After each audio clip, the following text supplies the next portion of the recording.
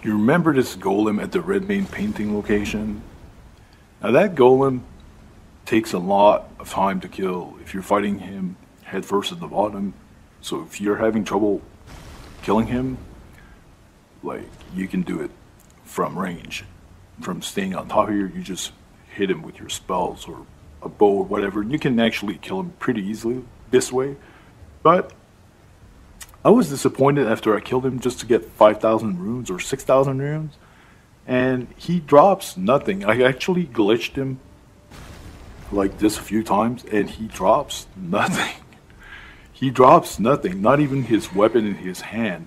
I think there's a, a, spell next to him while he's lying down the first time you come here. I know there's an item, I don't remember what it was, but this guy drops nothing. I actually wasted my time fighting this guy from the bottom and like trying to kill him. Like I died a bunch of times to him earlier in the game when I wasn't as strong as I am now, but still he gives nothing. So like it's just a waste of time. Unless you want to fight him for the challenge there, but I'm telling you right now, he doesn't drop anything. He doesn't seem to be dropping his axe that he has in his hand. I killed him many times and it's not dropping. It's probably a super rare drop.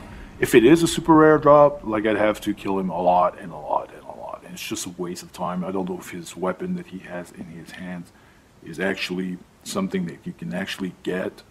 So if you wanted to kill him because you thought that he would give you something incredible like I did, well, don't waste your time. He doesn't drop anything special and doesn't even give a lot of runes. So anyways, it's going to be it for this video. If you enjoyed it, don't forget to subscribe if you're new to the channel, and thanks for watching.